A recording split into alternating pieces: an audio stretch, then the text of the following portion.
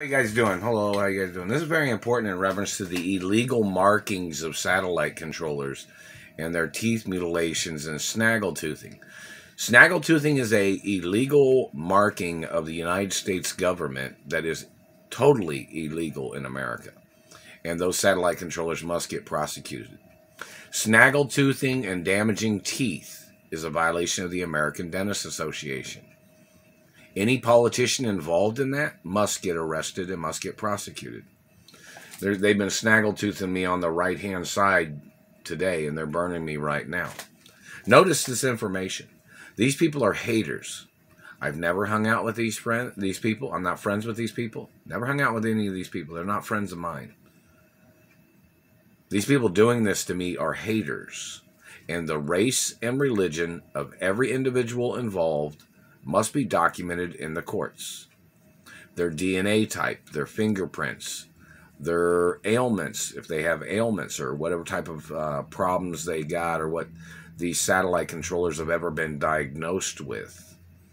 Obviously, they're predators and they're perverts and they're psychos and they're haters. You know, I don't have nothing to do with none of these psychos. These people have been trespassing into my life. We need the dates of how many time, how many times these people have been burning me. What days? Obviously, they've been doing it for over 26 years, or you know, over 6,000 days plus. You know, and uh, they're snaggletoothing again right now. You see what they did to my kneecap? See that dent? See where it's dented like really bad there? Where they've been chopping down into the kneecap with the satellite?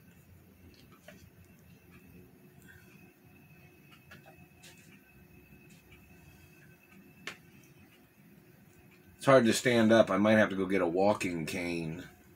They did that last night when I was working uh, making pizzas. Now, you know, my mother and father owned pizza restaurants, and so did my grandparents. They owned pizza restaurants in America back in the 1800s or something. Early 1900s, 1800s, or whenever. So, you know, in reference to, and I possibly broke a world record in making pizzas last night.